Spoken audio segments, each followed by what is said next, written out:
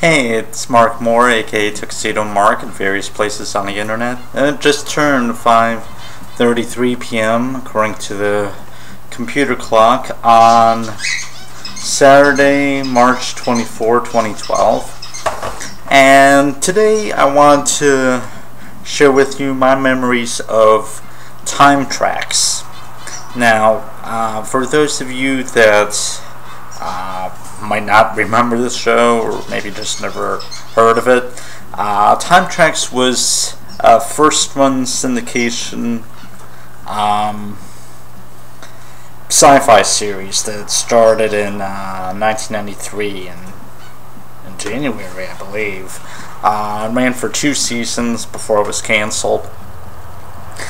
It dealt with a police officer from the future from the year 2193 named Darien Lambert, uh, who was played by Dale Midkiff, who you might know as uh, the dad from Pet Sematary.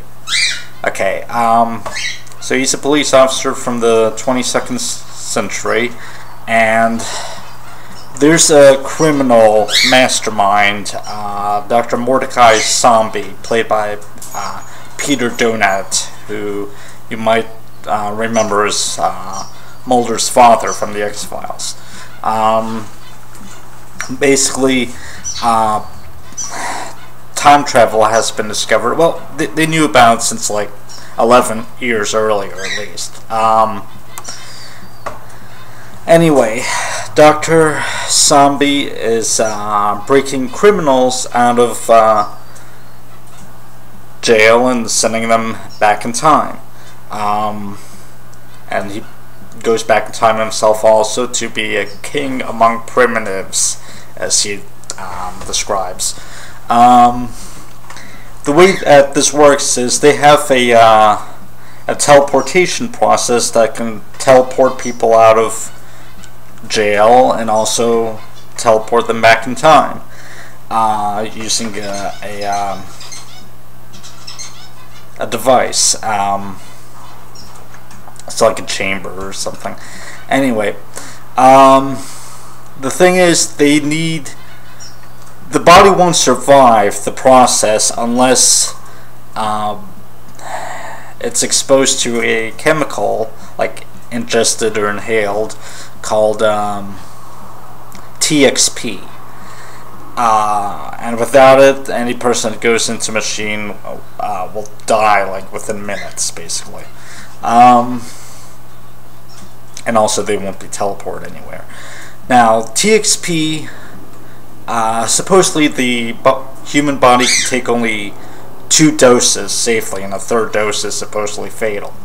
Um, I remember Dr. Sahmbi broke this one guy out of uh, prison named Sepp Dietrich using TXP, and with his second dose, he was sent back in time to 1993.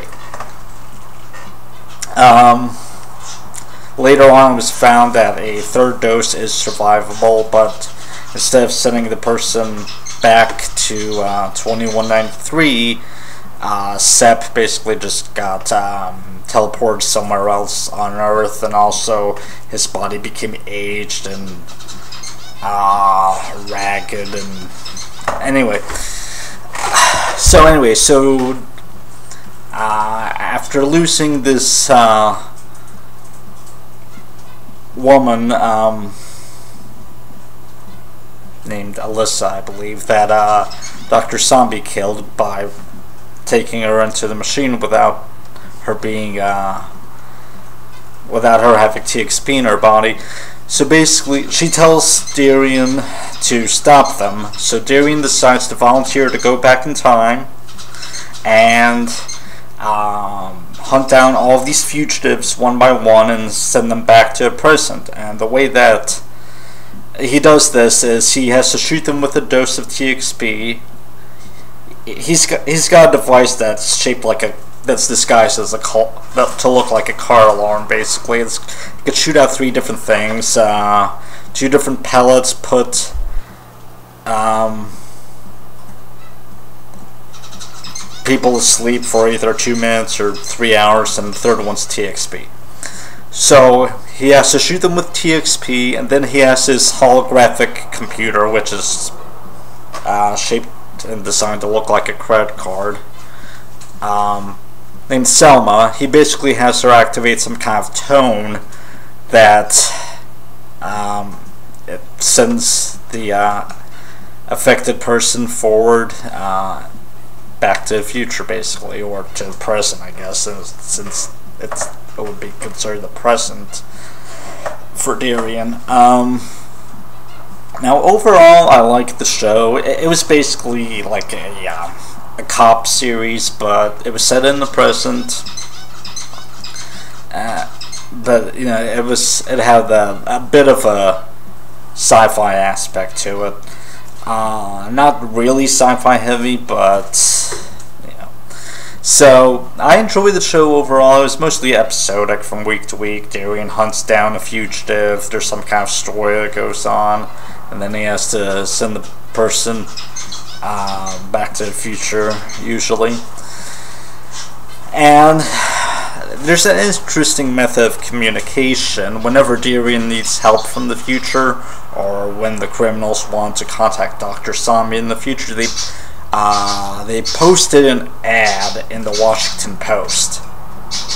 Uh, and then the people in the future basically scan through the archives to find the message. So if Darien needs something, posts an ad. Uh, you know, police in 2193 scan through the archives like daily or whatever. They find the ad, they send him what he needs.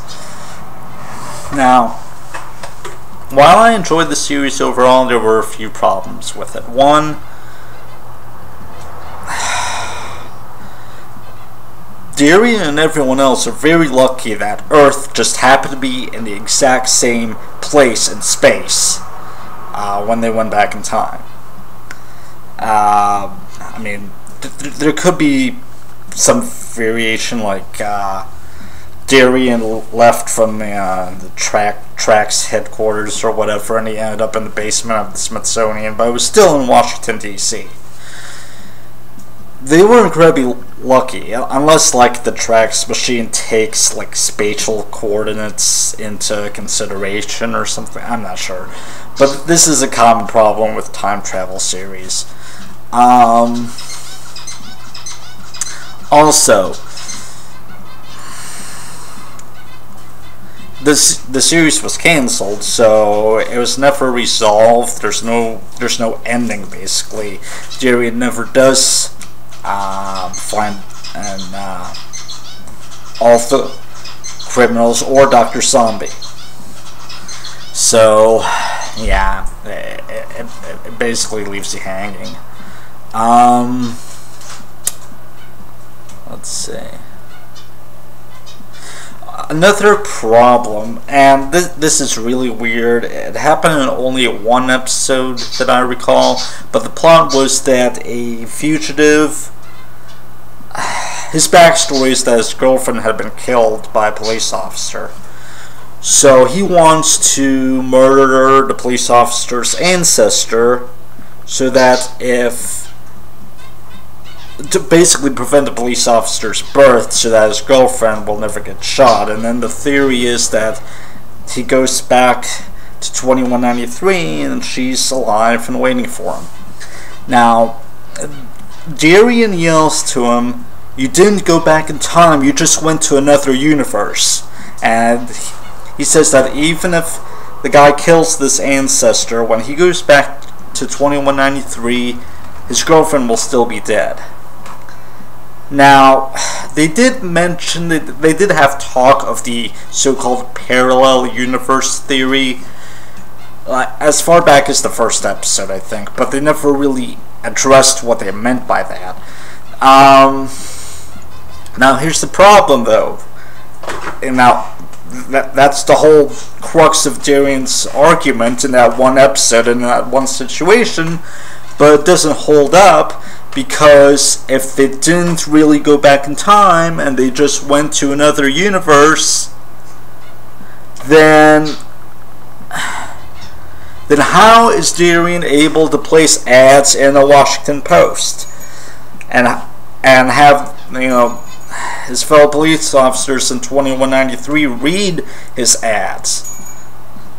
Uh, even in the first episode, uh, Sepp Dietrich went back in time and he placed an ad in the Washington Post that Dr. Sahmbi went to the Smithsonian and, you know, he requested a copy of the paper from the archives and he was able to read it. It doesn't hold up. But anyway, the, the show, it, it was pretty good. I mean, if it came out on DVD, I wouldn't buy it. And if it came on TV again, I might watch it, might not. It was an okay show. Um, I remember once they had a 15 minute making of time track special that they aired on TV. And they used to do that in syndication for shows. And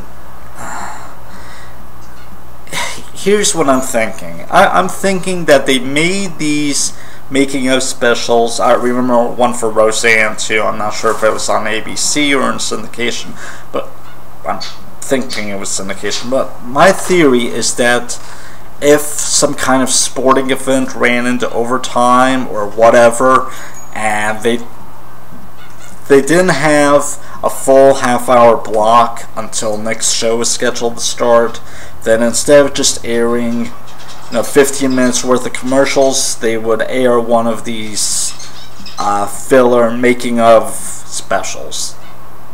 Um, and it was pretty interesting from what I remember. Um, anyway, uh, that, that's all that I really have to say about it. If you want to check out Time Trax, I'm sure you can find some episodes online. Uh, check it out if you're curious. Um, and that's it. Thanks for watching. It's 5.45 p.m. and that's it.